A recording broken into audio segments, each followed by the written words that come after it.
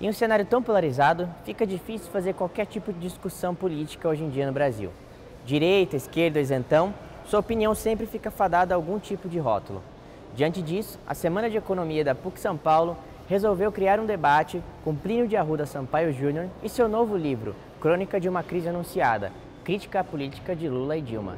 O objetivo é mostrar é, as responsabilidades das administrações petistas pelos problemas econômicos e políticos enfrentados pelo Brasil. A dificuldade é mais pelo fato que no Brasil a crítica é interditada. Então o que existem são narrativas. Tanto a direita tem uma narrativa sobre o que foi a crise, que é falsa, né?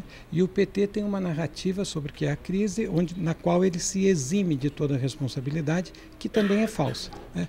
O movimento nosso é o movimento da crítica, para tentar entender a raiz dos problemas, as causas dos problemas, fugindo de narrativas que estão mais interessadas em é, defender um ou outro partido do que entender a realidade.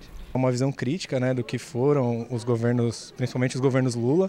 É, eu tenho bastante identidade, assim, me identifico bastante com as ideias do, do Plininho, não só do livro, mas algumas outras ideias que ele defende também. Eu acho muito interessante porque é, tudo que ele diz no livro ele se baseia é, em dados concretos.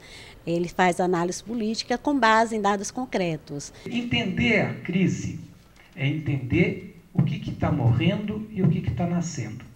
É entender as transformações inscritas na crise. Então, quando a gente pega o Brasil na economia, o que, que é a crise econômica? Nós temos que entender o seguinte: o que, que está morrendo? Está morrendo a indústria como, um, como coluna vertebral da economia nacional. É isso que está morrendo. Algumas críticas são, não digo que são exageradas, mas não concordo, mas acho que tem outras críticas muito interessantes, principalmente na discussão sobre os problemas estruturais que passa o país e que realmente os governos petistas não conseguiram, apesar de terem feito algumas melhoras, não conseguiram a atuar sobre os problemas estruturais do país. Claro que você vai ter diferenças de alguns governos, no caso do Lula, mas não foram relevantes para uma mudança substancial do padrão de desenvolvimento do capitalismo brasileiro.